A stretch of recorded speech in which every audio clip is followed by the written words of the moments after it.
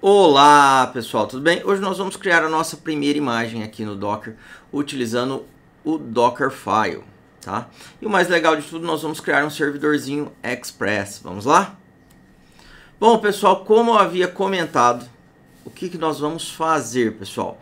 Nós vamos criar um servidor Express para hospedar um site, tá? Então nós vamos fazer uma imagem a partir de um Dockerfile, beleza? Então vamos lá. Primeira coisa, pessoal, que nós vamos precisar fazer. Eu vou precisar pegar os arquivos que nós vamos utilizar no nosso projeto. Ah, Danilo, nós vamos montar um servidor? Vamos, mas eu não preciso saber como que eu faço isso usando o Node, tá? Já vamos pegar pronto. Então vocês vão vir aqui, vão acessar o meu GitHub, ó, github.com/defilito. Vão vir em repositórios. Dentro de repositórios tem a pastinha Docker Dentro de Docker tem atividades. Dentro de atividades, vocês vão encontrar um arquivo zipado, ó. Server Express site pessoal. E aí vocês vão fazer o que? Vão clicar nos três pontinhos e vão fazer o download dele. Tá bom? Pronto. Feito isso, nós já temos o arquivo que nós vamos precisar para o nosso projeto. Então vou abrir aqui o arquivo, ó. Vou descompactar ele. Vendo? Vamos lá. Perdoem o meu mouse que está zoneado. Vou extrair aqui esse meu arquivo. Então, para onde eu vou extrair ele, pessoal? Eu vou extrair ele para a pasta documentos, atividades, extrair. Pronto. Fechei. Fechei. E aí, vamos ver se ele extraiu aqui, ó. Tá aqui. Danilo, o que, que tem dentro dessa pasta? O que nos interessa é a pastinha projeto, ó. Então se eu clicar dentro de projeto, eu vou ter o que? Eu vou ter o meu servidor Express, tá? E o meu site. Ah, qual que é o site? Esse aqui, ó. Se você clicar em index, você vai visualizar ele no seu navegador, tá? Ó, já está abrindo aqui no navegador. Vamos ver. Olha lá, olha que bonitão. Viram que site lindo? E aí, se vocês quiserem, vocês podem personalizar esse site mudando. Ao invés de ser a minha foto, ser a foto de vocês. E o link da página do Instagram e do GitHub de vocês. Beleza? Fechou. Então vamos lá. Vamos voltar aqui, ó. O que, que eu vou fazer? Primeiro deixa eu fechar aqui o site, ó. Eu não vou precisar dele. Vou voltar aqui. Eu tenho aqui a minha pasta projeto, tá? Eu vou recortar ele aqui, ó. Cadê? Recortar. Vou vir aqui em atividades e vou jogar ele aqui, tá? Vamos lá, colar. E eu vou chamar essa pastinha, ó, vou renomear ela. Cadê? Vamos lá, renomear. Olha só, vou chamar aqui, ó, site pessoal. Pronto, site pessoal. Tá ali. Fechou? Então, a pasta de trabalho nossa que eu vou utilizar é essa aqui, ó, site pessoal, que tem o meu site, tá? Que é constituído pelo index, pelas imagens, pelo arquivo CSS. E aí, se eu olhar o index.js aqui, ó, só para vocês verem, vou abrir também. O que, que ele representa? Ele representa aqui o nosso servidorzinho Express, onde eu estou criando o servidor, definindo qual é a porta que ele vai trabalhar, ó. Porta 3000, tá vendo? E estou falando qual é o nome do meu arquivo inicial, ó, tá aqui, ó. Fechou? Então tá aí, é um servidorzinho básico usando o Express que vai funcionar na porta 3000. Beleza? É importante saber isso, Danilo? É, é importante, tá? E aí, o que que nós vamos fazer? Como eu havia comentado, nós vamos criar nossa imagem utilizando um Dockerfile. Danilo, mas o que é um Dockerfile? Não sei. Dockerfile é um arquivo cheio de instrução que ele serve para criar uma imagem para você no Docker. Entenderam? Só isso. Então, ao invés de nós criarmos uma imagem baseado em um container já existente, eu posso fazer o quê? Posso criar um arquivinho, um Dockerfile, colocar um monte de comando lá dentro e ele vai criar uma imagem nova a partir desses comandos. Legal, né? Então vamos lá. O que, que eu vou fazer aqui? Eu criei, ou melhor, eu instalei aqui no meu computador um Linux, pessoal. perdão, né? Já estou no Linux. Eu instalei um Visual Studio Code, tá? Qual é a vantagem de se utilizar o Visual Studio Code? Às vezes fica mais fácil para você editar os seus arquivos. E aí eu vou fazer o que aqui nele, ó? Vou vir aqui, ó, arquivo. Eu vou vir aqui em arquivo, ó. Agora eu acho que deu um sossego aqui o meu mouse, né? E vou falar em qual diretório eu vou trabalhar, ó. Então vou vir aqui, cadê? Uh, abrir pasta e eu vou falar ó, qual diretório que estão, que estão as minhas coisas. Ah, eles estão dentro dos meus documentos, atividade, site pessoal. Pronto, abrir. E aí eu vou conseguir trabalhar e ver tudo que tem lá dentro, tá? E o que, que nos interessa até agora aqui no nosso site pessoal? Ó, eu tenho meu site aqui prontinho, bonitão, tá? E eu vou criar um arquivo novo, pessoal. Qual que é o nome do meu arquivo? Eu vou vir aqui mesmo, dentro do meu site, ou melhor, dentro do diretório onde está o meu site, que eu quero criar uma imagem dele, né? E do é, Express, que eu configurei nele aqui, e eu vou criar um arquivo chamado Docker File. Pronto. Olha que legal, está aqui o meu arquivo de antemão, o que, que acontece já o próprio Visual Studio? Ele vai falando, deseja instalar as configurações recomendadas do Docker, extensão da Microsoft para o idioma Docker. Se você quiser, você pode instalar. Não é necessário, tá? Não precisa instalar extensão nenhuma. Você pode usar um editor de texto simples. Ó, tá aqui. Até instalou. Então, se você digitar Docker aqui, ó, mas Danilo, como que eu faço isso? Você está fazendo e eu não sei como é que faz. Vou te mostrar como é que faz. Vou vir aqui. Vou diminuir aqui a telinha, que ele acabou pegando aqui, ó. Tem a parte de extensões, ó, tá vendo? Se eu vier em extensões, eu consigo adicionar uma nova extensão. Então, é só clicar aqui e eu digitar aqui, ó, a extensão que eu quero. Por exemplo, se eu digitar Docker,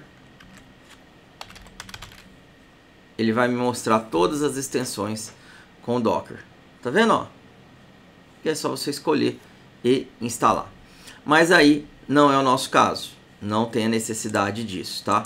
Vou fechar aqui, vou fechar aqui, ó, vou fechar aqui, vou voltar para o nosso diretório. Então pensem o seguinte, vou editar um arquivo. Qual arquivo? O nome dele tem que ser Dockerfile, do jeito que está tá escrito aqui, ó. Tá vendo? Onde ele vai ter que estar? Dentro do diretório onde estão as coisas que eu quero criar uma imagem. Então, se eu olhar aqui a minha pastinha, ó, onde ele está? Ele está aqui dentro do, da pasta site pessoal, onde está o meu site. E tudo que tem aqui dentro, eu quero criar uma imagem com tudo que tem aqui dentro. Beleza, pessoal? Espero que tenha ficado claro. Qualquer coisa vocês podem perguntar. E aí, vamos lá. Vamos voltar aqui para o nosso Visual Studio Code. Danilo, o que, que eu tenho que colocar aqui no texto? Ó? Então, vou ter que digitar alguma coisa. O que, que eu vou digitar? Tá? Então, primeira coisa, eu quero criar uma imagem a partir do que? Então, geralmente você cria uma imagem a partir de outra imagem. E nós vamos criar uma imagem a partir de uma imagem que já está presente no Docker Hub, que é uma imagem do que? Do Node. Então, vou colocar aqui, ó, from Node, dois pontos, 20 que, que eu estou falando? Que eu vou criar uma imagem a partir da imagem do Node, tá? Versão 20. Ah, mas onde você viu isso, Danilo? Você tirou da cabeça? Não. Se eu olhar aqui o site do Node, ó, deixa só ele conseguir carregar aqui, ó. Se eu olhar aqui o site do Node, do Docker Hub, né, perdão, ele vai ter uma imagem do Node, ó, e fala as versões do Node suportadas. Então ele vai criar aqui a minha imagem a partir no mínimo da versão 22. Compreenderam? Tá aí, ó, já tá aqui. Eu procurei, verifiquei se existia uma imagem do Node, tem. Tá ali, eu posso usar. Então, se eu posso usar, vamos lá, vamos usar ela. Tá aí. Beleza? Ah, você quer criar uma imagem a partir dessa imagem do Node? Beleza. E o que, que você vai fazer? Ó, eu quero fazer o seguinte. Eu quero pegar tudo que tem na pasta onde está o meu arquivo Dockerfile e copiar né? Para onde? Para minha imagem, correto? Então, o que, que eu vou fazer? Eu vou fazer isso assim, aqui, ó, copy, espaço, ponto, espaço, barra, app, traço, node. Danilo, o que, que é isso? Isso significa que eu vou copiar, como eu havia comentado, tudo que tem aqui dentro, tá? Para onde? Para uma pastinha na minha imagem chamada app-node. Fechou? Tá aí, olha que legal. E aí depois nós vamos fazer o que? Vamos dar um run npm install. Danilo, para que que é isso? Instalar as dependências, o que vai precisar para funcionar as coisas na nossa imagem. Compreenderam? Então isso aqui ele vai executar na hora que estiver criando a nossa imagem. Ó, você vai criar uma imagem baseada em quem? Ah, no Node, tá? Ó, copia tudo que tem na pasta local onde está o seu Dockerfile, para onde? Para a pastinha app-node da sua imagem. Fechou. Ó, roda o npm install. Então tudo que precisar instalar ali de dependência, né, para o seu projeto, instala. Porque o nosso projeto é um projeto Node. Fechou? Beleza. E aí, nós vamos colocar aqui, ó, Entry Point. E nós vamos falar o seguinte, ó. Deixa eu apagar aqui. Usei o autocompletar. Entry Point. npm espaço start. Tá? Barra app traço node. Então eu estou falando o seguinte, ó. Na hora que rodar a sua aplicação, na hora que rodar a sua imagem, você vai startar o que tiver dentro da pastinha de trabalho app node. Fechou. Esse é o nosso script, pessoal. Quatro linhas de comando. Entenderam? Facinho, né? Mas Danilo, dá para melhorar um pouco? Dá. Vamos tentar melhorar? Vamos. O que nós vamos fazer? Ó, geralmente a gente não costuma ficar colocando desse jeito, ó. Tá? O que, que a gente faz? A gente faz uma coisa assim. Work dir e aí aqui barra app traço node. Pronto. Com isso eu estou falando o seguinte, ó. Estou falando, ó, o imagem, qual que é o diretório de trabalho, onde tudo, toda a mágica vai acontecer aí. No diretório barra raiz, né, app traço node. Fechou? Aí na hora de efetuar a cópia, eu não preciso escrever mais isso. Eu não tenho diretório de trabalho, só colocar o pontinho. Ele já vai saber o que? Ele já vai saber, ó, você vai copiar para onde? Vai copiar para o diretório de trabalho. Do diretório atual, o pontinho representa aqui o seu workdir. Beleza? Fechou. Outra coisa interessante que dá para fazer. O nossa, a nossa aplicação, ela não usa uma porta. Então, o legal é colocar aqui, ó, depois do workdir, um expose, ó, expose port, e aqui nós vamos colocar 3000. Pronto. Com isso, quando você for olhar as características do seu pacote em execução, seu container, perdão, em execução, ele vai falar, ó, esse container aqui ele usa a porta 3000. Tá vendo? Legal, né? E aí já fica mais fácil. Então, Danilo, só com isso aqui o rolê já vai funcionar? Vai. Só isso, gente. Então, basicamente, nós estamos criando aqui o nosso prime a nossa primeira imagem baseada em um Dockerfile que fala o que? Ó, vá lá no no nossa, esqueci agora, no Docker Hub, pega o Node, baixa a imagem lá, cria um diretório app Node para trabalho, fala que você vai usar a porta 3000, copia tudo que tem na, no diretório onde está o seu Dockerfile para dentro do diretório app Node. Como é um projeto em Node, ó, além de fazer essa cópia, você vai fazer o que? Você vai rodar um npm install para instalar as coisas que precisa, as dependências do seu projeto, para o seu projeto funcionar. Instalou? Beleza. Ó, aí quando você rodar, você vai fazer o que? Ó, você vai startar o que está lá na raiz. E aqui a gente pode fazer o que? Ó, eu também não preciso mais disso. E como eu coloquei lá o workdir, é só colocar um pontinho. Ó. Pronto, fechou. Beleza? Salva. Ctrl S, salvei aqui. Vou minimizar. Minimizei. Já tem aqui o meu Dockerfile bonitinho aqui. Belezinha? E aí, vamos abrir o terminal. Vamos abrir um terminal aqui, ó. Abrir meu terminalzinho. E agora que nós vamos fazer a mágica acontecer. Então, depois que eu criei o meu Dockerfile, pessoal, eu preciso fazer o que? Rodar o comando que vai criar a imagem a partir dele. E como que eu faço isso? Eu venho aqui, ó. A parte mais difícil vai ser entrar dentro do diretório. Documentos. Deixa eu dar um zoom aqui. Vamos lá. Gente, por que que não tá indo zoom?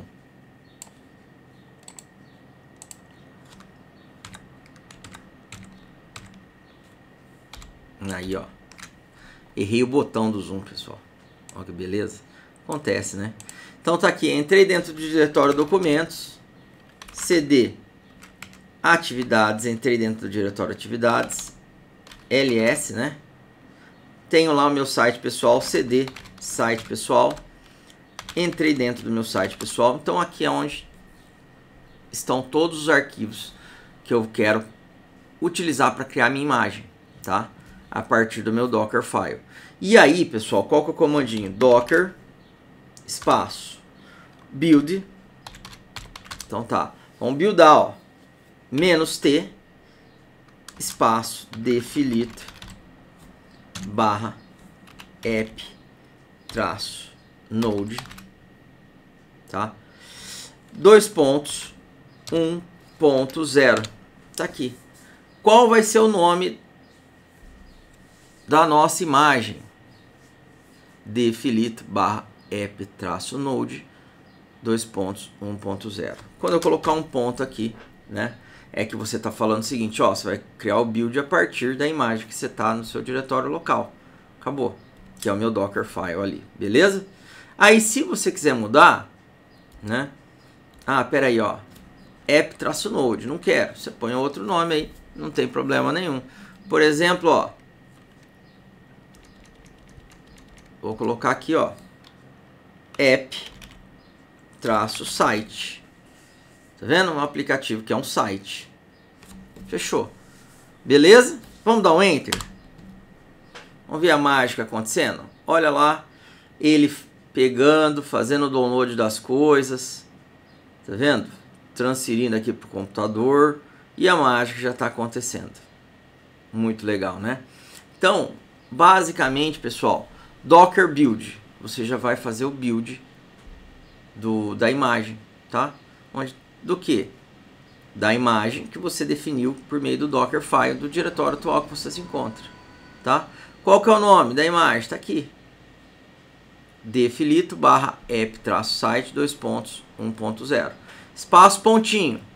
Vai lá, roda, faz o build do Dockerfile que está na, no diretório atual ali. Fechou? E agora vamos aguardar o término aqui. Pronto. Terminou, pessoal. Será que foi? Né? Caraca, hein? Vamos limpar a tela aqui. Vamos ver aqui, ó.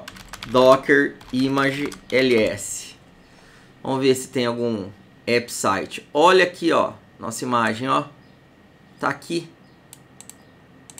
Topzera, né? Muito legal. Conseguimos. Pronto, só isso, um comandinho.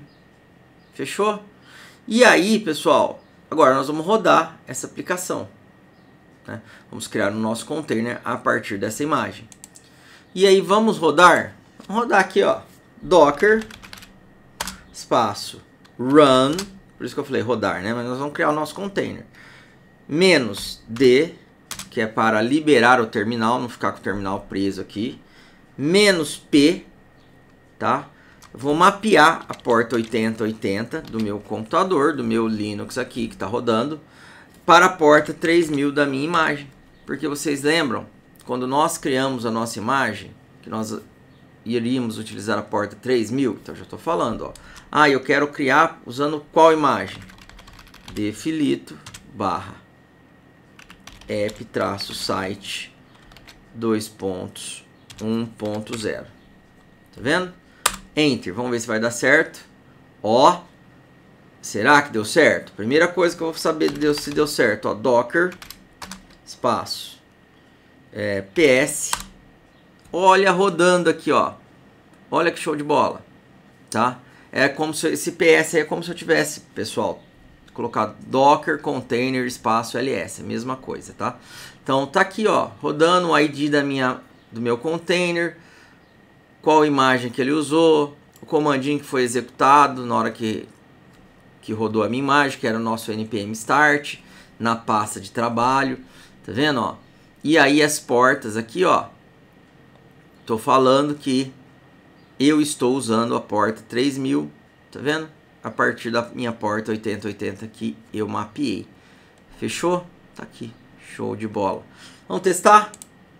Se eu vier aqui, digitar local host 8080, teoricamente tem que aparecer a cara da pessoa mais linda do universo. Ó, tá aqui. Apareceu. Funcionou.